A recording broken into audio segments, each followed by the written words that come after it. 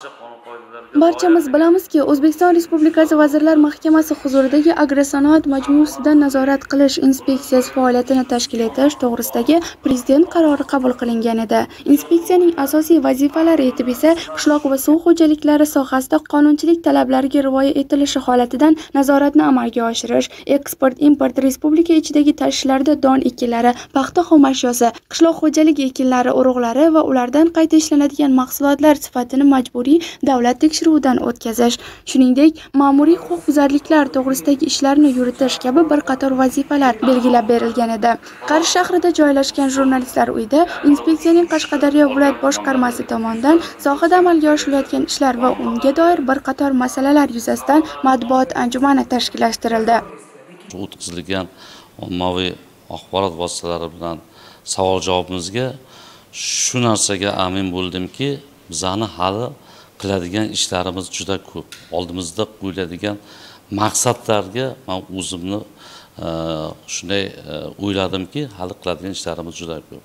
Mana berilgan e, savolnomalar mana shu sizlarni ommaviy axborot vositalari savolni qayerdan oladi? Bular xalqni ichidan oladi. Bular dehqonlardan mana shu g'allakorlarimizdan paxtakorlarimizni dardlarini chorvadorlarimizni hozirgi kunimizda suvdan foydalanish holatlarini nazoratini xalqni ichida mana shu foydalanuvchilarni bular murojaatini bizlarga to'g'ridan to'g'ri yetkaza oladigan bu matbuot xodimlari deb o'ylayman.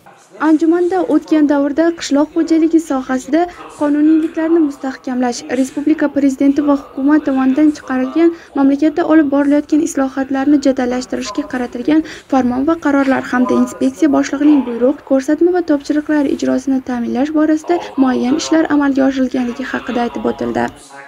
Sakson to'qson sentnergacha hosildorlikka erishgan fermerlarimiz bor.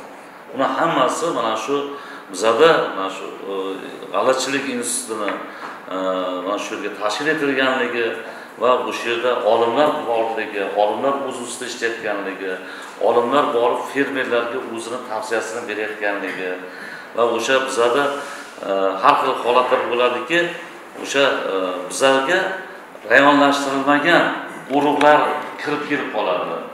O'shalarni ekmaslikni va ekish bu yerda o'zini natijasini ko'rsatmasligini oldin ekilgan bu natijasini ko'rsatmaganligini ular isbotlab beradi.